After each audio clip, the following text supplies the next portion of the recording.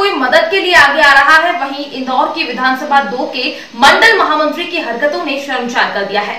अंबेडकर मंडल के महामंत्री पवन चौधरी ने जरूरतमंदों को मिलने वाला आलू प्याज बेचते हुए उनका एक वीडियो सामने आया है।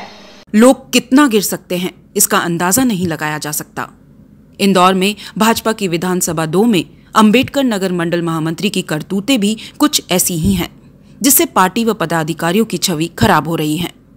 महामंत्री पवन चौधरी द्वारा नगर निगम की ओर से जरूरतमंदों को मिलने वाला निशुल्क आलू प्याज बेचने का वीडियो वायरल होने से लोगों में आक्रोश है। तो पार्टी के लोग भी नाराज़ हो चुके हैं। दबी ज़ुबान में पवन चौधरी से पार्टी ने किनारा कर लिया है।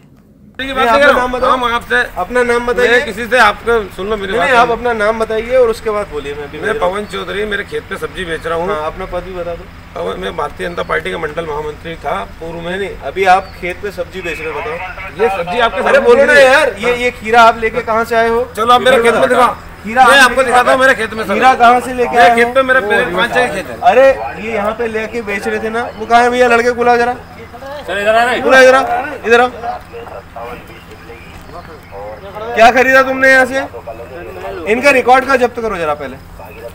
रिकॉर्ड जब्त करो। आप इसको हो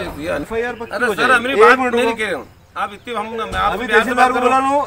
मैं सुनो मैं कोई दादागिरी नहीं कर रहा हूँ आपसे प्यार से कह रहा हूँ। वो तो करोगे नहीं करना तो दादागिरी कैसे कर लोगे? करो दादागिरी। ट्राई कर लो। आपके में क्या अंदर जाने का पूरा काम है। नहीं नहीं हम मेरी बात सुनो। अंदर जाने का पूरा काम है। करो दादागिरी। हम सेवा कर रहे हैं उसमें कोई वो कितनी आपको। बिल्कुल अच्छी सेवा है करो। कोई सेवा कर रहा हमारे खेत करो सेवा एक काम करो यार इनके दोनों के नाम पते लेके और नोट करा दो कंट्रोल और वो तो देसी टमाटर है देसी है।